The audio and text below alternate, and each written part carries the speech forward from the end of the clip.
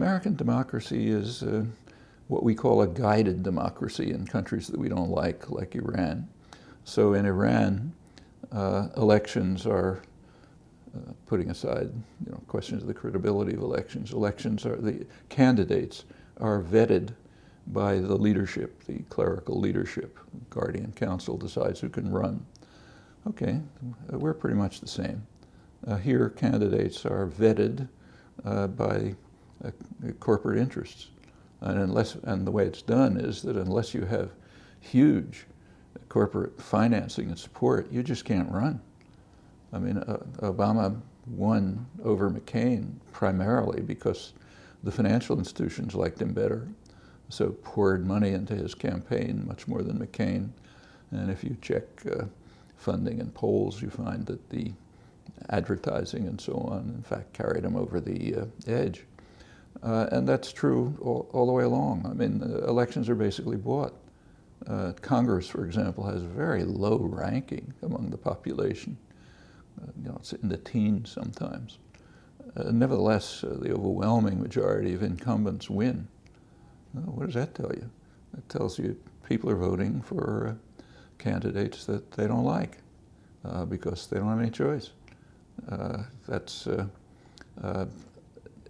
these are fundamental defects in the democratic system. Uh, it's a huge democratic deficit, as it's called, and it shows up. There's a very sharp division between public policy and uh, public attitudes on a host of major issues. Uh, in fact, both political parties are well to the right of the population on a great number of critical issues. And the population feels it can't do anything about it. Uh, so for example, uh, last polls I saw about this, about 80% of the population uh, said the government doesn't work for the people, it works for a few big interests looking out for themselves. Well, that's 80% of the population. But if you had asked the next question, they didn't do it, well, what are you going to do about it? People probably would have said, well, I can't do anything. Uh, there's no way to do anything about the fact that the government's in the pockets of the rich uh, and a few big interests, corporate interests primarily. Uh, that feeling of uh, helplessness, uh, uh, impotence, you know, everything's run by somebody else, I can't do anything about it, that reflects a democratic deficit. these are enormous problems with the way the democratic system functions.